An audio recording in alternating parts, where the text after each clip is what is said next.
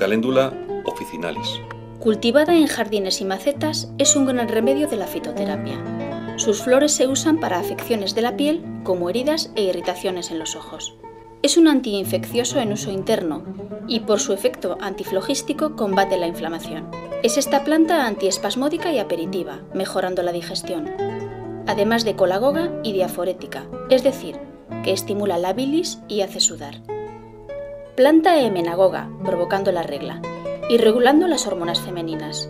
Es vulneraria en uso externo, es decir, cicatriza las heridas.